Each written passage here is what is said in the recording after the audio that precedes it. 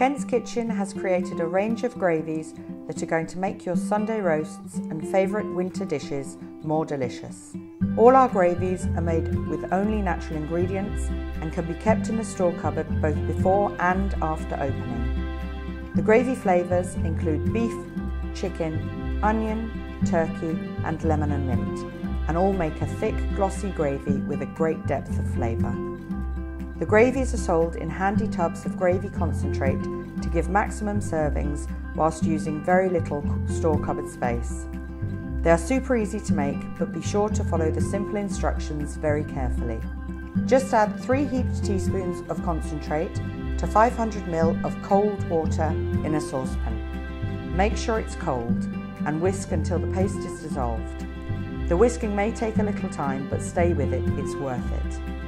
After the concentrate is dissolved completely, heat until boiling, then simmer for about 10 minutes until the gravy becomes thick and glossy. Each serving is enough for a family of four, even with second helpings. For a more luxurious twist, slosh some red wine in the beef gravy or add some cooked caramelised onions to the onion gravy. These gravies will revolutionise your mealtime.